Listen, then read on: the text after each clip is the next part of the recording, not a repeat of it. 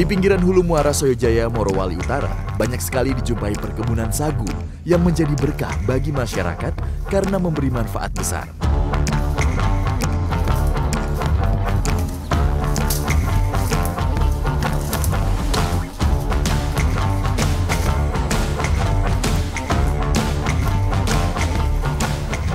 Nah, ini dia nih.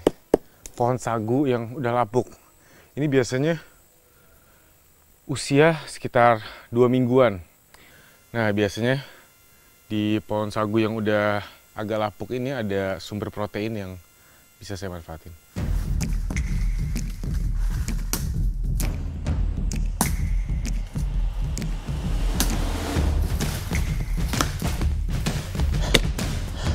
Nah, yang mau saya cari di pohon di pohon lapuk ini ulat sagu.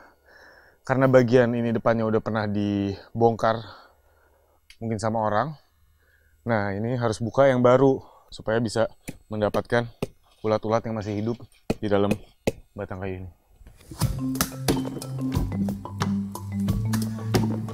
Lapisan dalam dahan kayu menjadi rumah bagi ulat sagu, sekaligus menjadi sumber makanan alami ulat sagu.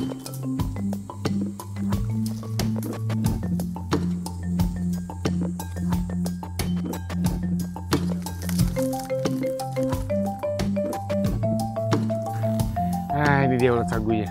Ini ukurannya masih kecil. Saya masih mau nyari lagi yang besar. Ulat sagu merupakan fase kehidupan dari kumbang hutan.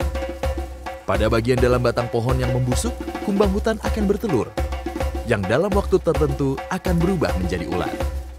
Di fase ulat inilah, ulat sagu biasanya dicari sebagai sumber pangan alternatif.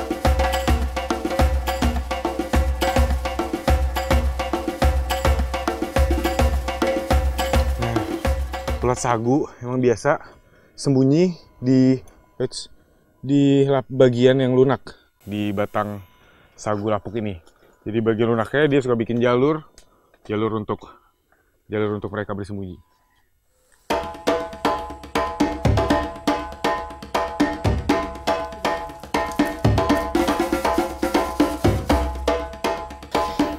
Ya, ini dia. Ini ulat sagu bisa langsung dimakan. Tapi bagian kepalanya, yang ada cabit besar ya, jadi dimakan karena berbahaya. Bismillah. Ini emang rasanya hmm, asem, terus lengket, tapi ada manis-manisnya. Ini rasanya nyegerin. Tak hanya sebagai sumber protein, ulat sagu dapat pula dijadikan umpan berburu ikan. Nah, ini umpan udah cukup. Ulat sagu ini mau saya jadikan umpan ikan. Wow fishing, keren banget.